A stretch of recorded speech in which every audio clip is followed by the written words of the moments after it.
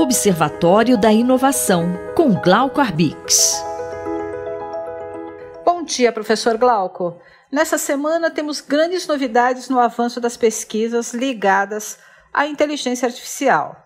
O que pode nos contar, professor? Bom dia, ouvintes da Rádio USP. Bom dia, Cinderela. O governo dos Estados Unidos acaba de anunciar a criação de mais 11 institutos dedicados à pesquisa em inteligência artificial. Eles pretendem atingir cerca de 50 eh, novos institutos distribuídos pelos estados americanos. E com cada um deles voltado para temas específicos, né, para ajudar os idosos a se tornarem mais independentes, para impulsionar a agricultura de precisão, para avançar na segurança cibernética e, basicamente, para ter uma educação de vanguarda, uma educação personalizada capaz de ajudar os alunos com mais dificuldades a superar os problemas e as dificuldades de aprendizagem.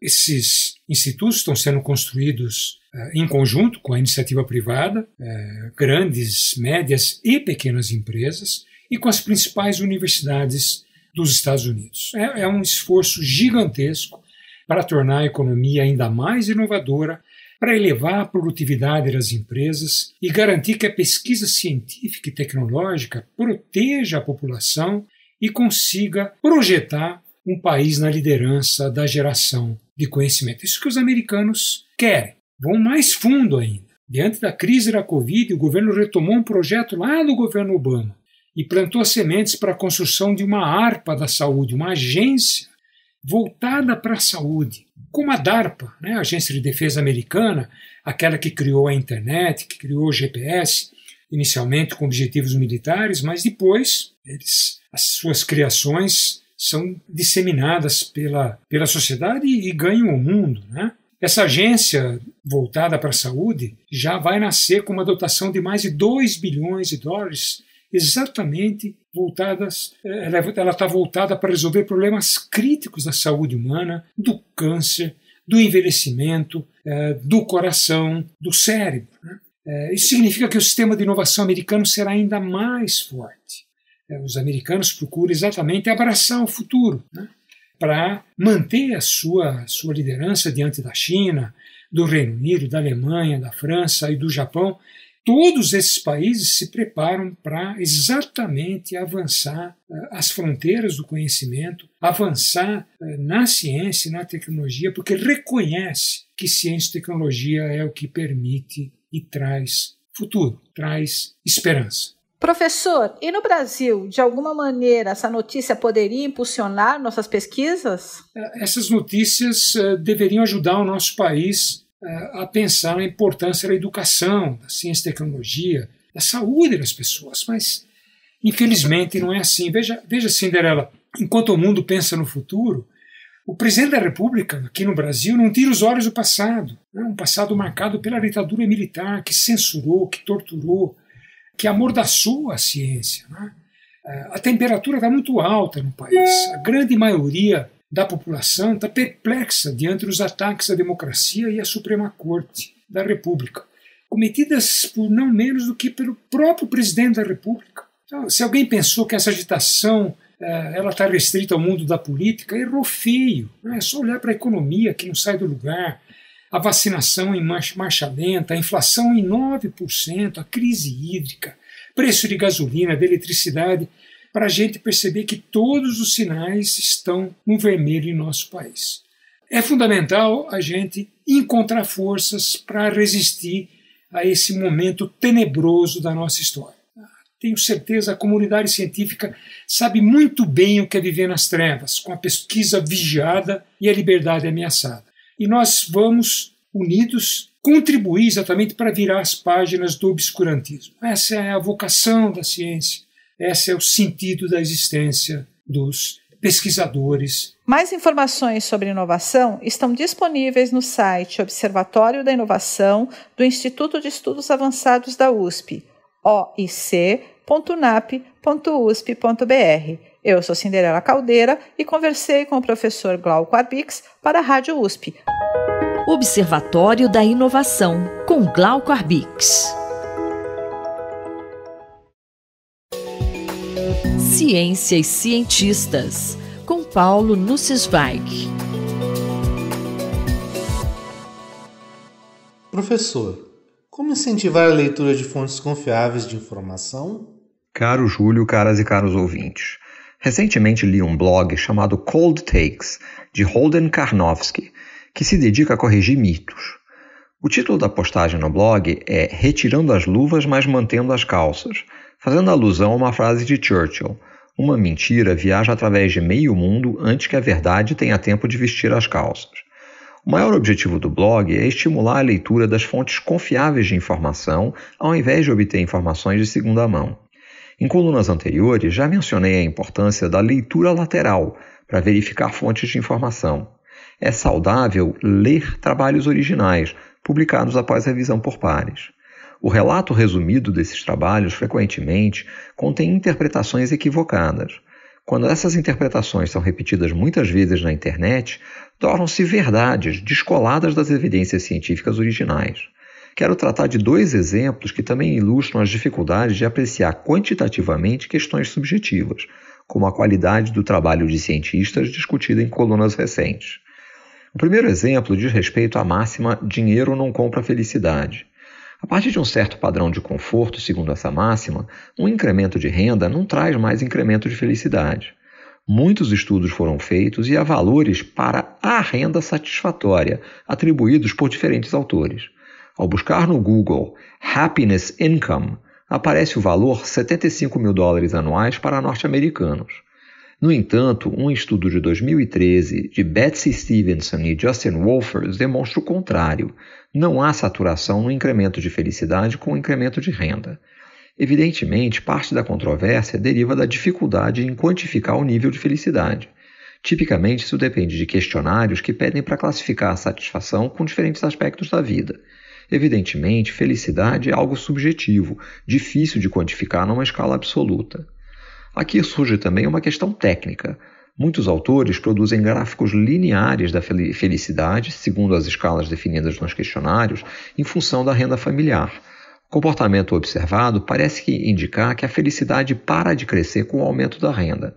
Porém, se o mesmo gráfico apresenta a renda em escala logarítmica, o crescimento é praticamente constante com o logaritmo da renda. Isso significa que a renda tem uma importância maior para a felicidade quando ela se destina a suprir necessidades básicas, mas que não há um teto acima do qual maior renda não traria maior felicidade. Stevenson e Wolfers analisaram dados de 155 países que contêm mais de 95% da população mundial, com resultados similares em todos. Você tem outro exemplo em que as conclusões atribuídas a um trabalho vão além do que está no artigo? Sim, é famoso o efeito Dunning-Kruger, que, segundo se lê na internet, afirma que quanto menos uma pessoa conhece um assunto, mais competente ela se considera naquele assunto. Em que pesem os exemplos de autoridades do atual governo que corroboram essa máxima, a conclusão do trabalho original de Kruger e Dunning não é tão forte quanto essa. Eles fizeram uma série de testes com estudantes da Universidade de Cornell, nos Estados Unidos, que não podem ser considerados uma população extremamente representativa. Eles testaram três habilidades: humor, raciocínio lógico e gramática inglesa. Em cada situação, os estudantes respondiam inicialmente o quanto se achavam competentes e em seguida respondiam testes. Então perguntavam como perceberam seu desempenho nos testes. A percepção sobre a competência e sobre o desempenho foi similar em todos os casos. Em dois dos quatro testes, essa percepção de competência era quase independente da competência medida no teste, e todos se consideravam acima da média. Portanto, a percepção de competência é mais distante do resultado do teste para os indivíduos menos competentes. Kruger e Dunning mostraram que a percepção de incompetência pode, por outro lado, melhorar se o indivíduo se torna mais competente após passar por treinamento no assunto. Segundo os autores, indivíduos que conhecem muito pouco sobre um assunto sequer têm a capacidade de saber o quanto desconhecem. A coluna de hoje é um exemplo do lema da Royal Society, Nullius in verba. Leiam as referências originais e tirem as próprias conclusões. Paulo Sensweig falou comigo, Júlio Bernardes para a Rádio USP. Ciências Cientistas, com Paulo Nussweig.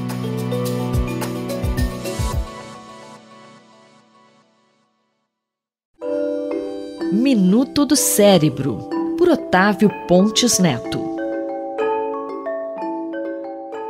Atendimento pré-hospitalar, realizado ainda dentro da ambulância, dobra as chances de sobrevida sem sequelas de pessoas que tiveram acidente vascular cerebral. A informação vem de um estudo que acaba de ser publicado na revista New England Journal of Medicine, com o atendimento de mais de 2.500 vítimas de AVC agudo. É sobre os resultados dessa pesquisa, realizada nos Estados Unidos, que o professor Otávio fala agora. Existem essencialmente dois tipos de acidente vascular cerebral: o acidente vascular cerebral isquêmico, que é causado por um entupimento de uma artéria que leva sangue para o cérebro e corresponde a em torno de 80% dos casos, e o acidente vascular cerebral hemorrágico, que é causado por uma ruptura dessa artéria com extravasamento de sangue para dentro do parênquima cerebral, que corresponde a em torno de 20% dos casos. A apresentação clínica dos dois subtipos é muito parecida e a única maneira de fazer um diagnóstico diferencial entre as duas condições é fazer um exame de neuroimagem na fase aguda do AVC, com uma tomografia ou uma ressonância magnética. Infelizmente, nem todo hospital tem um aparelho de tomografia ou ressonância disponível 24 horas, e isso é um dos limitantes para o acesso à terapia de reperfusão do AVC isquêmico. Mais recentemente, como uma tentativa de minimizar esse atraso e facilitar o acesso ao exame de tomografia, foram desenvolvidos na Europa e nos Estados Unidos unidades de AVC móveis, que são ambulâncias que têm uma equipe de médico e enfermeiro e, além disso, um aparelho de tomografia computadorizada dentro da ambulância. E isso, teoricamente, facilita o acesso, o diagnóstico e o tratamento do acidente vascular cerebral ainda durante o período pré-hospitalar mas até o momento não se sabia ainda o impacto da utilização dessas unidades de AVC móveis na evolução dos pacientes com acidente vascular cerebral isquêmico. Nessa semana foram publicados na revista New England Journal of Medicine os resultados de um estudo observacional prospectivo e multicêntrico nos Estados Unidos, em que pacientes com acidente vascular cerebral agudo, com menos de 4 horas e meia de evolução, foram atendidos em semanas alternadas por uma unidade de AVC móvel ou pela ambulância convencional. Dos 1.515 pacientes inicialmente avaliados, 1.047 eram elegíveis no momento do atendimento para receber a terapia de reperfusão com trombolítico. 617 desses receberam atendimento através da unidade AVC móvel e 430 através de ambulâncias convencionais. O tempo médio de início dos sintomas até a administração de trombolítico foi em média 36 minutos mais rápido nos pacientes que foram atendidos com a unidade AVC móvel, comparados com a ambulância convencional e a taxa de utilização de terapia de reperfusão foi de 97% no grupo dos pacientes tratados em unidade AVC móvel, comparado a 79% dos pacientes tratados em ambulância convencional. Além disso, os pacientes tratados com essa unidade de AVC móvel tiveram praticamente o dobro de chance de ficarem sem incapacidade funcional quando comparados aos pacientes atendidos com ambulância convencional os pesquisadores finalmente concluíram que o uso dessas unidades de AVC móvel, que são ambulâncias que têm tomografia dentro da ambulância, favorece os desfechos clínicos, melhora a taxa de utilização de terapia de reperfusão e diminui a incapacidade funcional dos pacientes com acidente vascular cerebral. Ouvimos o professor Otávio Pontes Neto, da Faculdade de Medicina da USP, em Ribeirão Preto. Rita Estela para a Rádio USP. Minuto do Cérebro, por Otávio Pontes Neto.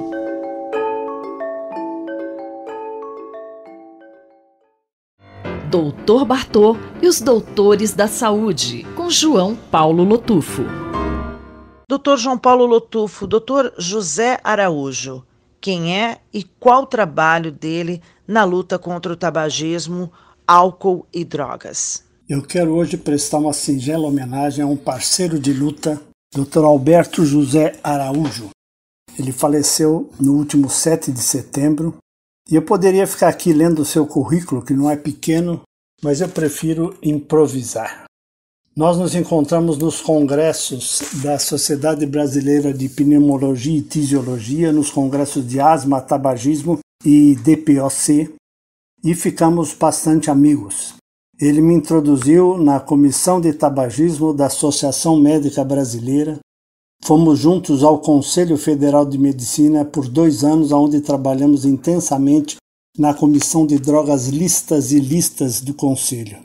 Ele ia do Rio, eu saía de São Paulo e nos encontrávamos no aeroporto para irmos direto ao Conselho Federal de Medicina. Organizamos três fóruns, o de álcool, o de tabaco e o de maconha, além de publicarmos livretos de orientação sobre esses três fóruns que se encontram no site do Conselho Federal de Medicina. Alberto José de Araújo foi um grande humanista, escritor do gênero literário, poeta, amoroso, generoso em todas as suas ações e lutou um bom combate e resta-nos agora abraçar a sua família e abraçar a causa do tabagismo e das outras drogas. Doutor Lotufo, vocês chegaram a realizar vários trabalhos juntos nessa luta, né? Conta um pouquinho pra gente.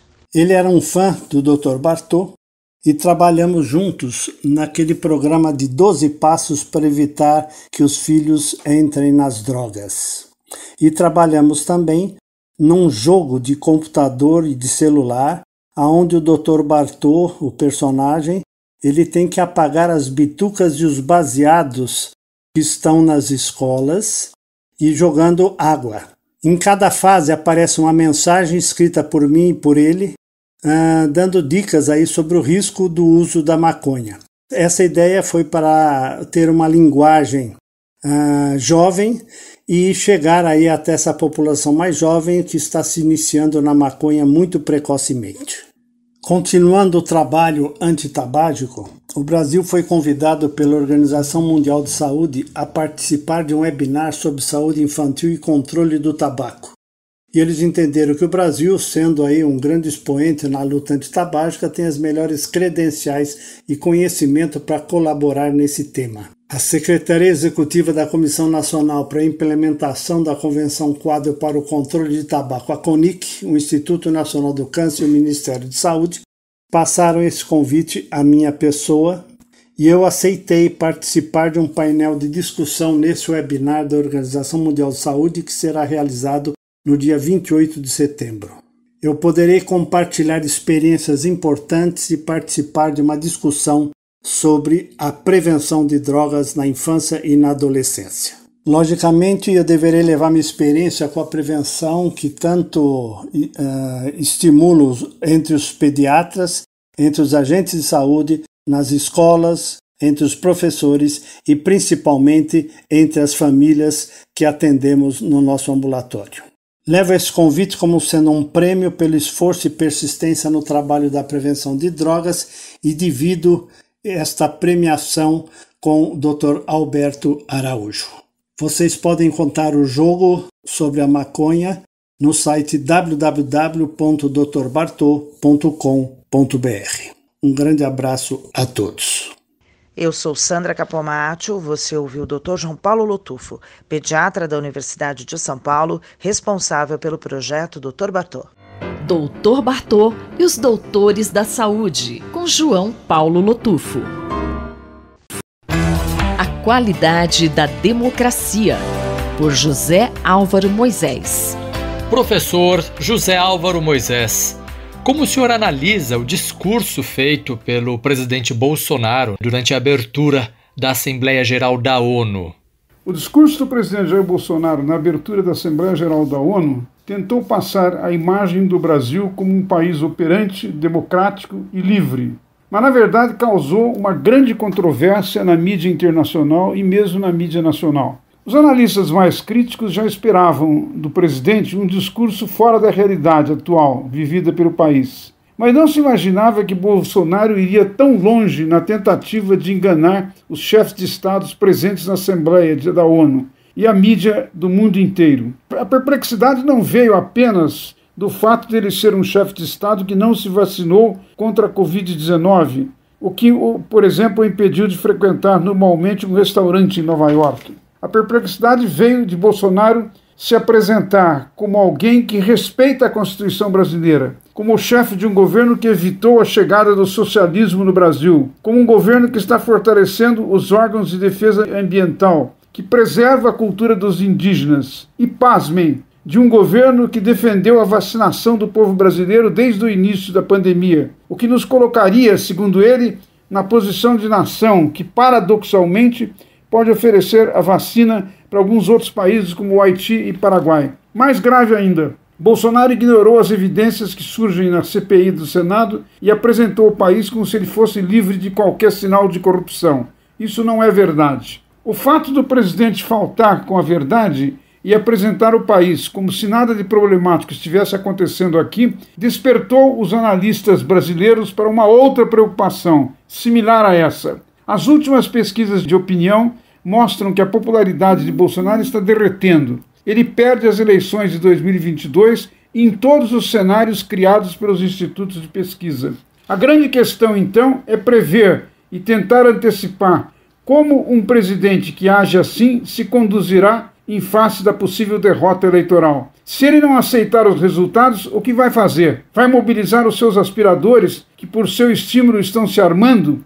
Vai tentar envolver as Forças Armadas nessa questão eleitoral? Ou setores das polícias militares de alguns estados? Hoje é impossível responder a isso, mas os analistas insistem que as forças democráticas precisam se antecipar a esses acontecimentos, entender o que o presidente pode vir a fazer e precisam se preparar para o caso de Jair Bolsonaro se mover para trazer a violência de volta para o cenário eleitoral de 2022.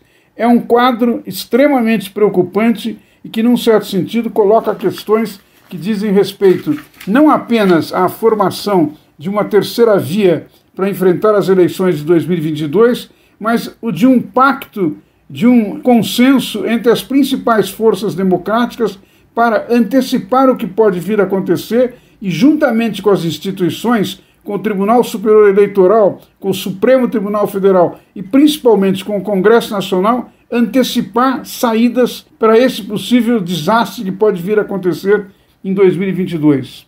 Muito obrigado. Obrigado, professor. Eu, Gustavo Xavier, ouvi o professor José Álvaro Moisés. A qualidade da democracia, por José Álvaro Moisés.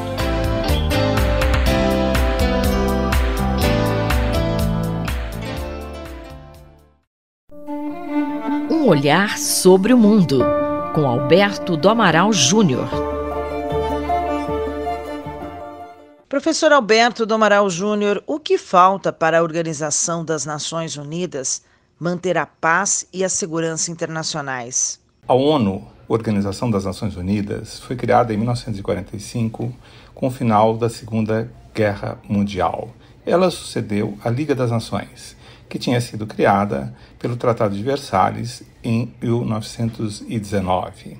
A Liga das Nações enfrentou sérios problemas, um dos quais era a necessidade de unanimidade de todos os membros do Conselho da Liga.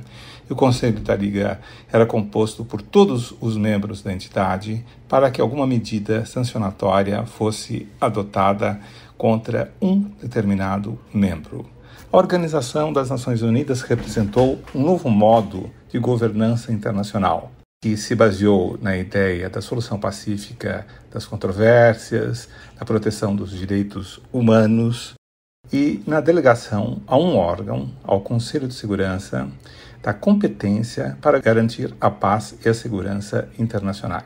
A estrutura da Organização das Nações Unidas é dividida entre o Conselho de Segurança, a Assembleia Geral. A Assembleia Geral reúne todos os membros da Organização das Nações Unidas, enquanto o Conselho de Segurança apenas 15 membros, sendo que cinco detêm o direito de veto e são membros permanentes, e são as potências vitoriosas na Segunda Guerra Mundial.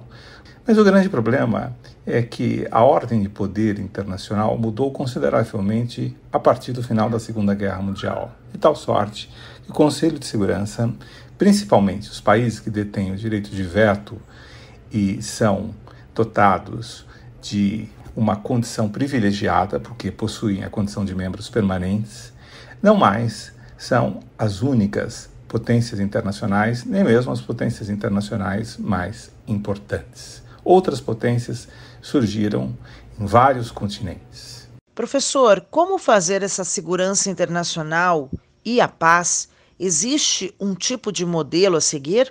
A própria noção de segurança internacional e de paz alterou-se radicalmente. Não se reflete apenas aos conflitos que violem a integridade territorial e independência política dos Estados. ou seja, o uso da força física.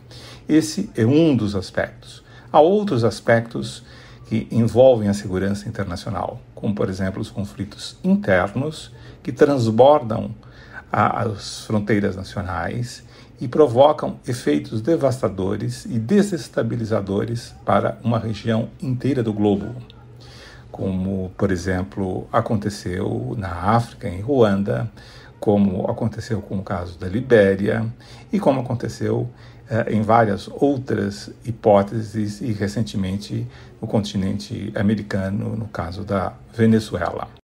Além disso, a ideia de paz internacional passou a abranger a ideia de proteção dos direitos humanos e passou a abranger a necessidade da criação de organizações internacionais com um poder jurisdicional capaz de resolver pacificamente as controvérsias.